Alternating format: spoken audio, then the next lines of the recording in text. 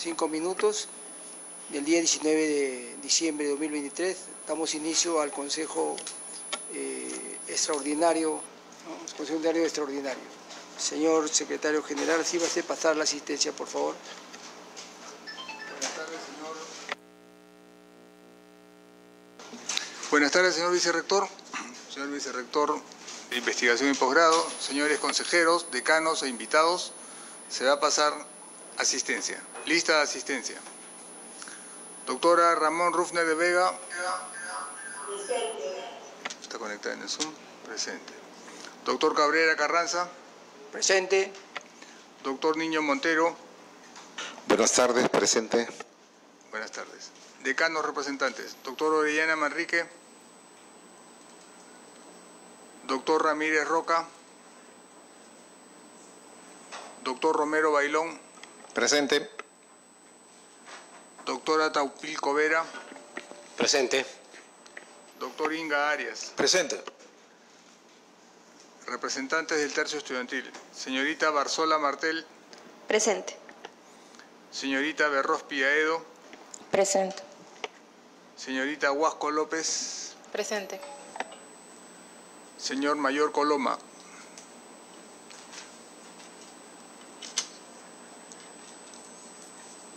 Eh, señor, el doctor Ramírez Roca está, se acaba de conectar en el Zoom. Señor presidente, informa usted que tenemos quórum reglamentario. Muy bien. Eh, señor secretario, sí va a se dar lectura a la orden del día. Como primer punto del orden del día se tiene la creación de las escuelas profesionales de Administración de la Gastronomía, Administración Marítima y Portuaria y Marketing de la Facultad de Ciencias Administrativas.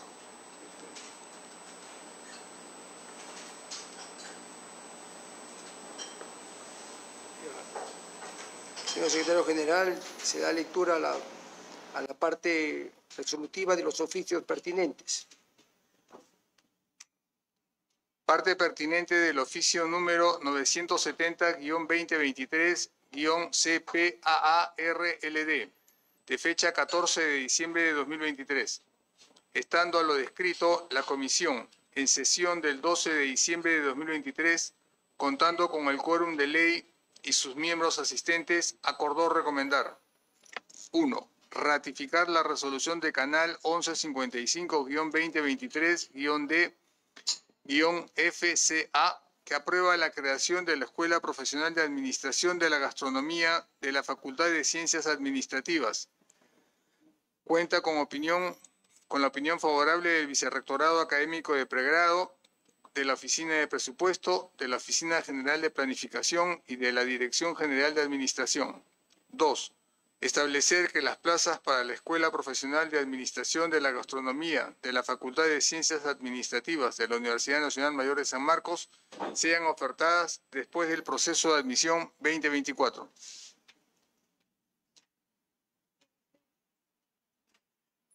Sí. Someto a la votación. ¿Alguna, alguna observación? Eh. ¿Alguna observación al respecto? Ninguna, aprobado por unanimidad. Doctor, sí, levanté la mano antes. Ah, ya, ya, por favor. Sí, Ya. Eh, bueno, buenas tardes con todos. Eh, como sabrán, soy de la Facultad de Ciencias Administrativas del posgrado de Gestión Pública, pero también he llevado el pregrado en Administración de Negocios Internacionales. Soy base 17. Em, primero, recordar que la Facultad de Ciencias Administrativas es la segunda con mayor población en la universidad. Tiene recursos eh, buenos eh, en comparación a otras universidades, gracias al posgrado podemos comentar ello. Sin embargo, em, si bien es cierto, ahorita estamos tocando el tema de la escuela de gastronomía, son tres escuelas que se quieren aperturar para el siguiente año, ¿no? Eh, también soy parte de la Comisión de Asuntos Académicos y justamente con el doctor Orellana y los demás de la comisión recomendamos eh, que las vacantes se oferten todavía en el 2025-1 para que la facultad pueda prepararse, en cuanto a equipamiento, en cuanto a la plana docente y todo ello, para que eh, pueda darse un buen servicio al, al, estudiante. ¿no? Recordemos que el estudiante es la razón de ser de la universidad.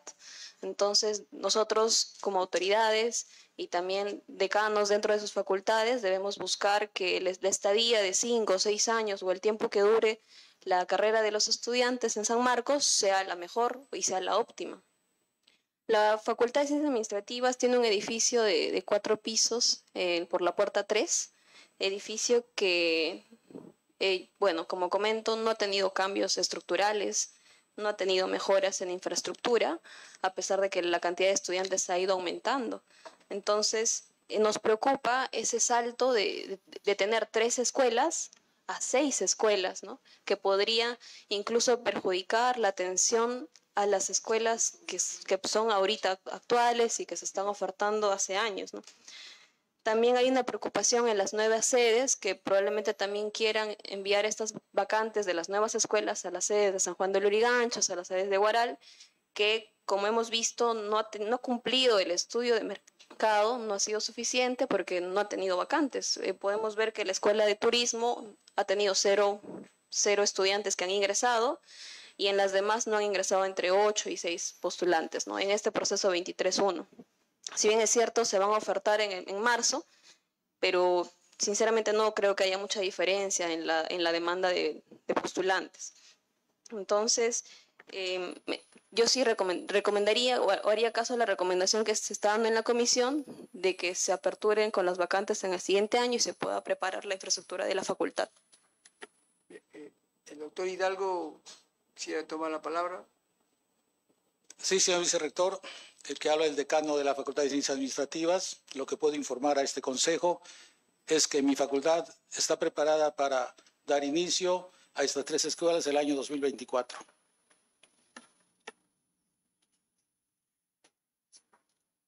Muy bien.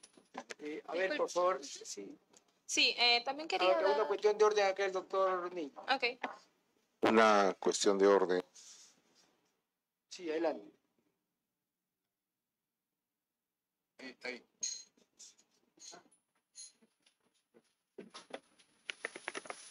En aras de salvaguardar la validez de los acuerdos de este Consejo Universitario, el día de hoy estuvimos compartiendo con la señora rectora la ceremonia y bueno, no se sentía bien, no podía hablar bien.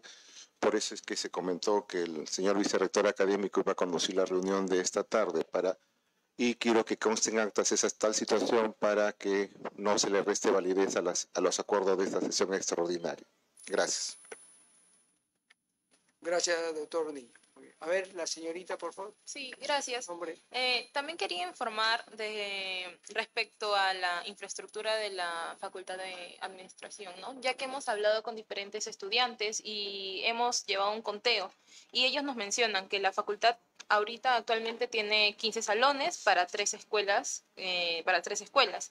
Sin embargo, eh, por la cantidad de alumnos, aún así este, es muy reducido, ¿no? Por lo que se prestan incluso aulas de sociales y también de posgrados. Eh, también no hay salones suficientes para las clases presenciales y por ello algunos alumnos de mm, ciclos mm, mayores eh, llevan cursos virtuales actualmente.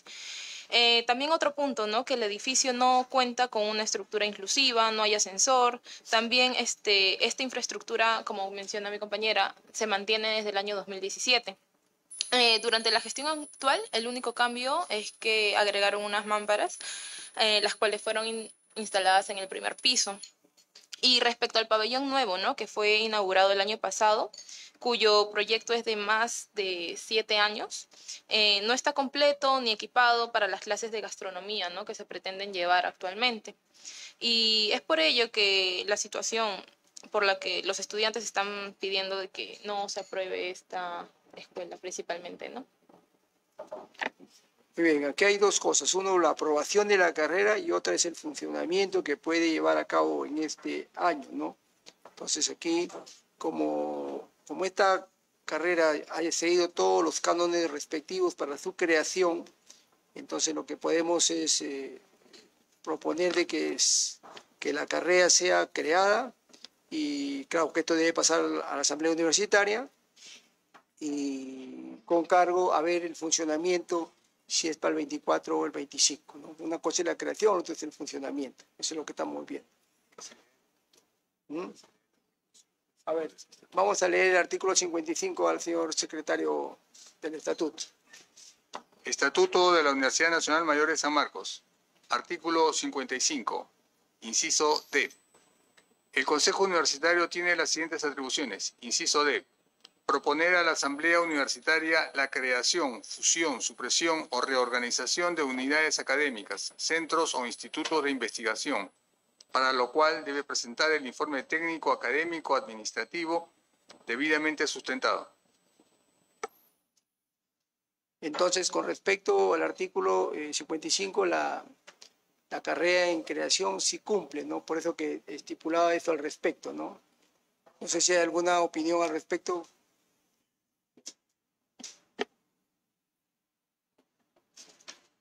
Entonces se va a proceder al... Una consulta, solo una consulta. Entonces, el tema de las ofertas, de las vacantes ofertadas, se van a ver en la asamblea.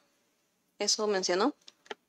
O sea, si van a ir para el 24 o para el 25, ¿eso se va a ver en la asamblea? La Asamblea puede ratificar la, la- la creación de la escuela. Vamos a, como les vuelvo a repetir, aquí, de acuerdo al artículo 55, ha seguido todos los cánones respectivos para la creación de la carrera profesional.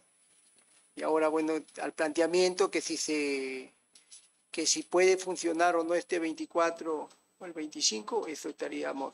Entonces vamos a, no sé si hay alguna opinión, señor para, sí, doctor Augusto.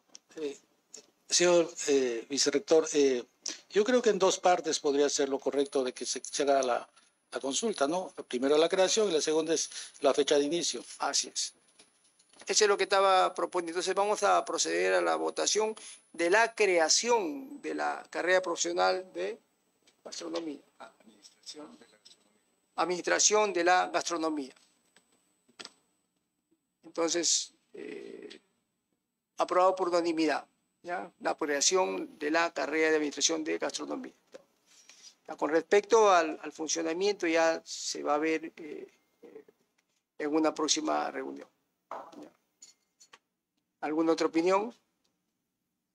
Pasamos al siguiente punto. Parte pertinente del oficio 974-2023-CPAARLD, de fecha 14 de diciembre de 2023. Estando a lo descrito, la comisión en sesión del 12 de diciembre de 2023, contando con el quórum de ley y sus miembros asistentes, acordó recomendar 1.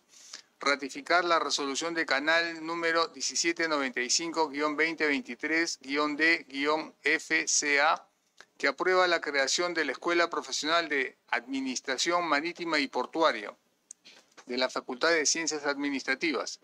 Cuenta con la opinión favorable del Vicerrectorado de Ac- Académico de Pregrado, de la Oficina de Presupuesto, de la Oficina General de Planificación y de la Dirección General de Administración.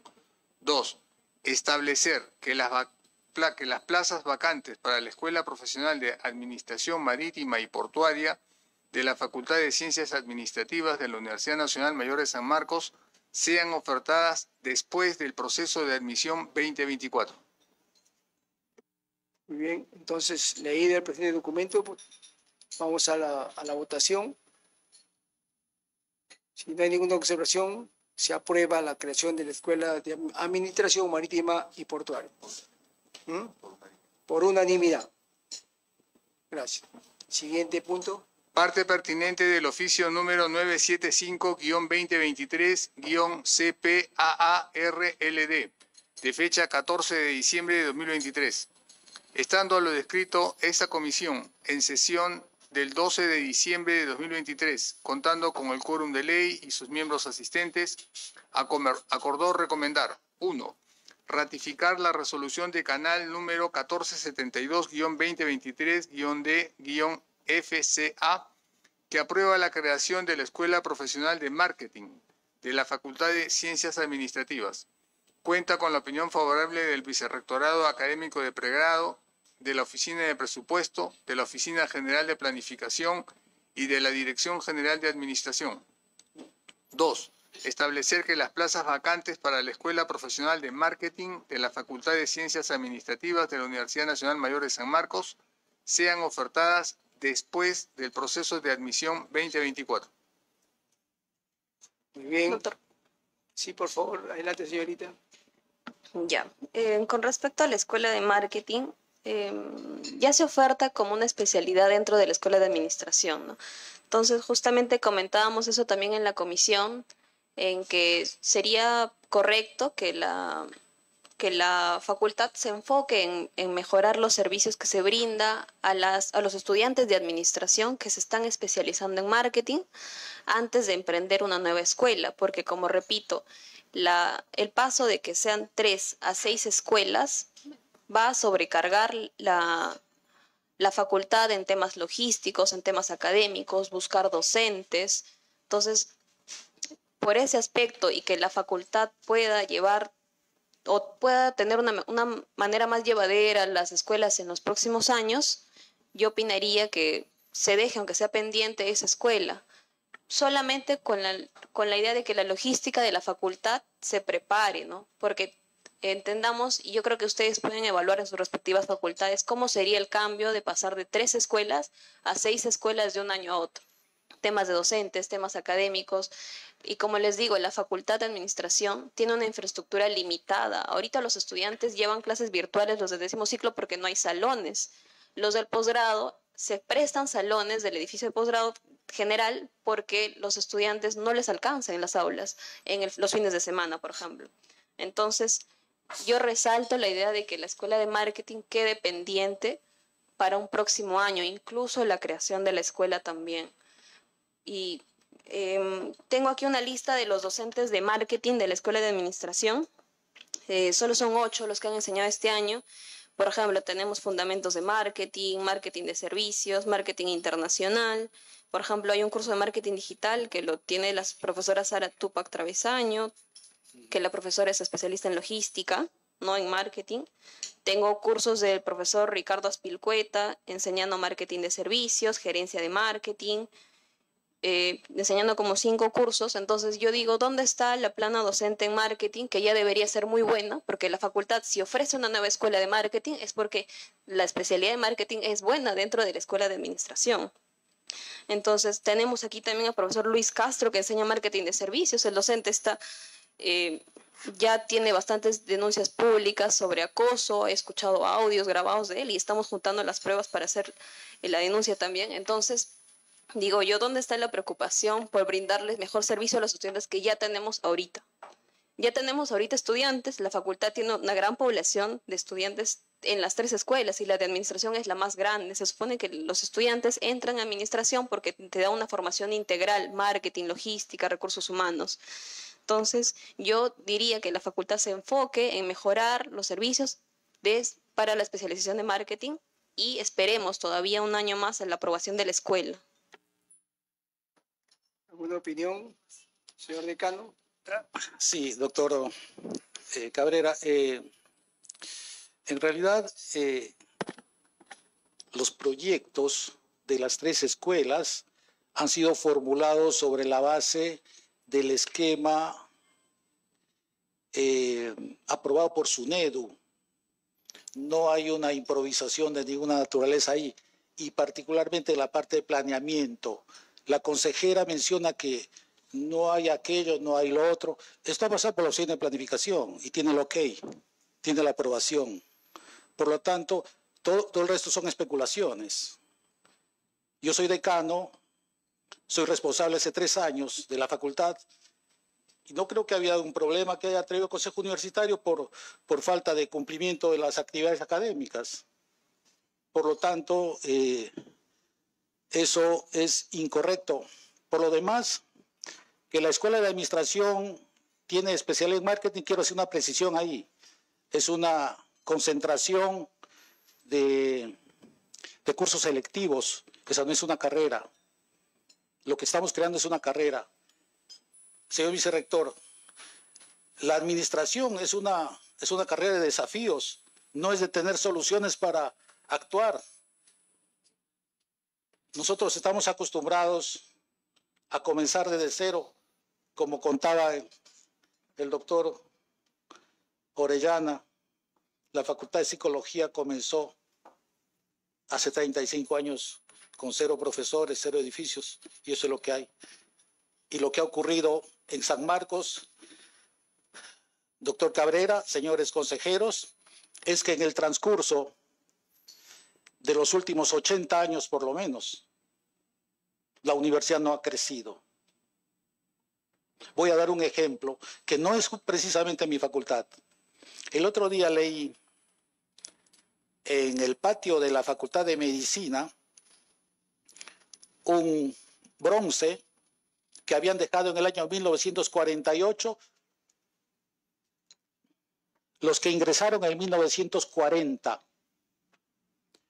Y ahí está la lista de todos los que ingresaron. ¿Cuántos ingresaron en 1940? 150 ingresantes. ¿Cuántos ingresan en el año 2023? 150. Something is wrong here. Algo no está bien aquí. La ciudad de Lima, desde el año 1940, hace 83 años, ha crecido por lo menos 10 veces y San Marcos no ha crecido. ¿Qué población tiene la Universidad de Buenos Aires? Par de San Marcos. Tiene 320 mil estudiantes. ¿Qué población tiene la Universidad Autónoma de Santo Domingo? Tiene 130 mil alumnos. Nosotros, al no crecer, hemos dejado espacio a las universidades privadas, que son un peligro para la sociedad ahora. Y lo que estamos queriendo es afirmar el modelo de San Marcos dentro de las limitaciones que tenemos, pero con la experiencia que tenemos de resolverlas. Por lo tanto, yo soy positivo, señor, señor vicerrector, señor, eh, eh, señores consejeros, en esta afirmación que estoy haciendo de que nosotros somos capaces de resolver y que somos capaces de enfrentar eso para el 2024 Gracias. ¿Algún otro? Sí, doctor Orellana, por favor. Sí, eh, pienso que hay que precisar cuál es la estructura de la universidad y específicamente de las facultades. Los profesores no pertenecen a las escuelas. Una escuela puede, puede quedarse sin profesores. Los profesores pertenecemos a los departamentos y el plan de estudio de la escuela solicita a, a los departamentos de la universidad para que brinden profesores. Esa es la lógica de la organización de la universidad. O sea, ese es el modelo de universidad que tenemos y, no solamente acá en Perú, en todo el mundo. Los estudiantes pertenecen a las escuelas, los profesores pertenecemos a los departamentos. Y cuando se crea una carrera nueva, no es necesario tener profesores. La escuela tiene que pedir no sé cuántos departamentos hay acá en la universidad, tiene que pedir a todos los departamentos para que atiendan el plan de estudios. ¿no? Eso, eso creo que, que tiene que quedar bien claro, pues si no estamos confundiendo. Estamos confundiendo cómo funciona la universidad. Ese es, ese es un criterio. El segundo criterio, que justamente lo hemos debatido en la comisión permanente, porque se aludía y se decía no hay estudio de mercado. Yo conversé con el decano de administración y dice sí hay estudio de mercado. Bueno, hay un, hay teórico muy conocido en toda América Latina y en el mundo que, se llama Brunner, Joaquín Brunner, neoliberal, no neoliberal, probablemente sea el principal teórico sobre la universidad. ¿no? Y él ha escrito un libro último, porque ahora él vive en París, que, se titula No todo es mercado. O sea, eh, Joaquín Burúdez tiene autoridad para opinar. ¿No? Dice, cuando se crea una carrera, no todo es mercado. ¿no? Obviamente que con esto no estamos diciendo que no debe haber estudio de mercado. Sí debe haber estudio de mercado. Pero no se puede reducir, porque el papel de la universidad es crear áreas de conocimiento, hacerse necesario. ¿no? especialización. Y en este caso, si nosotros queremos crear cualquier carrera y, no tenemos, por decir, estudio de mercado, lo tenemos con limitaciones, no interesa. Lo que interesa es que la universidad debe crear áreas de conocimiento que son necesarios para la sociedad. Ese es el papel innovador y ese es el aporte de la universidad al desarrollo de la humanidad o a la sociedad. O sea que la universidad debe crear áreas de conocimiento que sean necesarios a la sociedad. Disculpen la redundancia. ¿No? Entonces, sí hay que hacer estudio de mercado, sí hay que hacer, pero no debe reducirse solamente al estudio del mercado. ¿no? Esa es mi opinión. Muchas gracias, doctor Orellana. Bien, eh, por ahí hay uno, para el vicerrectorado académico, que también ha recibido todas las consultas respectivas, eh, ha cumplido con las disposiciones respectivas. De la misma manera, la oficina de planificación, que es el ente rector de ver todos los aspectos de planificación para el funcionamiento de una unidad académica, también lo ha compartido de manera favorable, ¿no? Entonces eso diríamos que ya ha pasado todos los cánones eh, administrativos, ¿no? Entonces, eh, como vamos a pasar entonces a la, a la votación, ¿no? Porque es lógico, eh, ya la facultad ha sustentado que está correcto, los estudiantes manifiestan que hay algunas otras situaciones que quedarse, pero bueno. Entonces, los que estén a favor de la creación de la escuela, sí, sí doctor.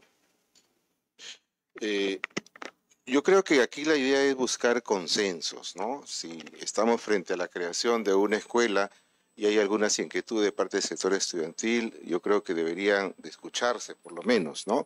Tampoco podemos cerrar los ojos frente a lo que nos están diciendo. Yo, en principio, estoy de acuerdo con la creación de las escuelas, pero también surge un interrogante. Es que debemos crecer en número de escuelas y qué pasa con las que tan- tenemos atrás. Ya tuvimos una sesión para aprobar los ingresantes del examen de admisión 24.1 y hemos visto algunos resultados que son lamentables. Y no nos, podemos, no nos podemos detener un momento a pensar qué hacer con esas escuelas. De repente ya no deben estar en esta época. Probablemente esté para algunos lanzando una blasfemia, pero es así. Algunas actividades ya pierden interés de parte de la sociedad o han sido reemplazadas por otros y sería bueno también irlas analizando. Así como queremos que haya nuevas carreras, hay que evaluar lo que tenemos, porque quizá algunas habría que cambiarlas, modificarlas o de repente ya dejar de tenerlas como escuelas. Yo diría, señor vicerrector, que sería bueno y pediría al tercio estudiantil aprobar las escuelas que se están planteando porque ha seguido todo el trámite regular y que más bien hacer llegar a través del decano sus sugerencias, inquietudes, que creo yo que todos son bien intencionadas, ¿no? En el ánimo de generar un consenso para que no tengamos este, votaciones divididas, ¿no? Es el, sentido de mi participación, señor vicerrector. Gracias. Muy bien, muchas gracias, doctor Niño. Bien, entonces, con la opinión del doctor Niño, se estaría procediendo a aprobar las escuelas con, con Disculpe, cargo a ¿podría que ser nominal, por favor? Con cargo a que las observaciones que de parte de- del tercio estudiantil se incorporen. Ah, sí, votación nominal. Bueno, está bien. Entonces, vamos a proceder, pues. Estamos en votación. Autoridades. Doctora Ramón Rufner de Vega. No se encuentra. Doctor Niño Montero. A favor. Decanos representantes. Doctor Orellana Manrique. Doctor Ramírez Roca. Doctor Ramírez Roca. Doctor Ramírez Roca a favor. Doctor Romero Bailón. A favor. Doctora Taupilco Vera. A favor. Doctor Inga Arias. A favor. Representantes del tercio estudiantil. Señorita Barcela, Barzola Martel. En contra. Señorita Berrospi Aedo. En contra. Señorita Huasco López. En contra. Señor Mayor Coloma. A favor. Doctor Cabrera Carranza. A favor. Señor presidente, la propuesta ha sido aprobada por mayoría. Muy bien. Entonces, queda aprobada la Escuela de Administración de Marketing. Pasamos al siguiente punto.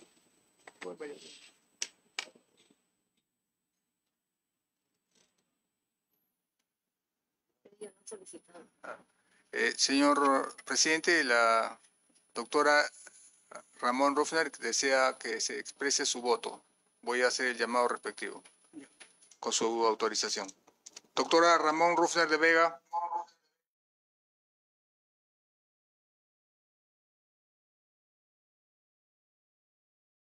Doctora Yeri Ramón Rufner de Vega.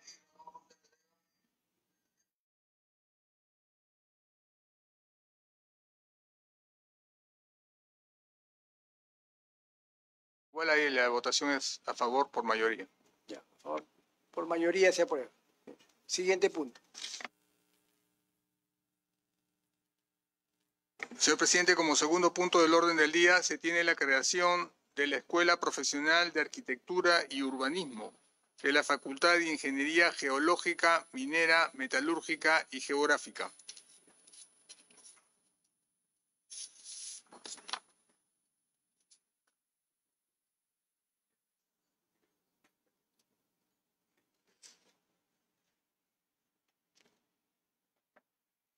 Señor secretario general, sírvase da lectura a los oficios pertinentes de este pedido.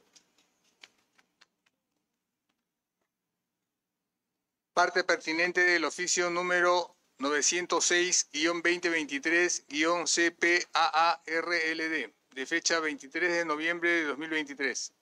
Estando a lo descrito y con el quórum de ley y sus miembros asistentes, esta comisión acuerda recomendar 1. Ratificar la resolución de canal número 1162-2022-D-FI-GMMG, diagonal UNMSM, y resolución de canal número 1128-2023-D-FI-GMMG, de la Facultad de Ingeniería Geológica, Minera, Metalúrgica y Geográfica. Cuenta con la opinión favorable de la Dirección General de Estudio de Posgrado de la Oficina de Presupuesto, de la Oficina General de Planificación y de la Dirección General de Administración. 2. Considerar en el proyecto de creación de la Escuela Profesional de Arquitectura y Urbanismo las conclusiones y recomendaciones realizadas por el Vicerrectorado Académico de Pregrado. Parte pertinente del oficio número 936-2023-CPAARLD de 30 de noviembre de 2023 se rectifica el error material incurrido en el oficio 906-2023-CPAARLD de fecha 23 de noviembre de 2023, como se detalla. Dice, estando a lo descrito y con el quórum de ley y sus miembros asistentes, esta comisión acuerda recomendar 1. Ratificar la resolución de Canal 1162-2022-D y la resolución de Canal 1128-2023-F DFI-GMM de la Facultad de Ingeniería Geológica, Minera, Metalúrgica y Geográfica cuenta con la opinión favorable de la Dirección General de Estudio de Posgrado, oficina de, la Oficina de Presupuestos, de la Oficina General de Planificación y de la Dirección General de Administración. 2. Considerar en el proyecto de creación de la Escuela Profesional de Arquitectura y Urbanismo las conclusiones y recomendaciones realizadas por el Vicerrectorado Académico de Pregrado. Debe decir Estando a lo descrito y con el quórum de ley y sus miembros asistentes, esta comisión acuerda recomendar 1. Ratificar la resolución de Canal 1162-2022-D-FI-GMMG y la resolución de Canal 1128-2023-D-FI-GMMG de la Facultad de Ingeniería Geológica, Minera, Metalúrgica y Geográfica cuenta con la opinión favorable de la Oficina de Presupuesto, de la Oficina General de Planificación y de la Dirección General de Administración. 2. Considerar en el proyecto de creación de la Escuela Profesional de Arquitectura y Urbanismo las conclusiones y recomendaciones realizadas por el Vicerrectorado Académico de Pregrado. Queda vigente todo lo demás que ella contiene. ¿Alguna observación? Ninguna aprobado por unanimidad. Continúe, señor secretario. Señor presidente, se ha dado cuenta de todos los puntos del orden del día. Falta la, fecha de inicio. 2025-2024. Bien, se, se solicita al Consejo la dispensa de la lectura del acta respectiva. La lectura y aprobación del acta respectiva. Entonces, siendo las 3 con 43 minutos, damos por concluido el Consejo Extraordinario respectivo del día de hoy. Muchas gracias a todos los presentes.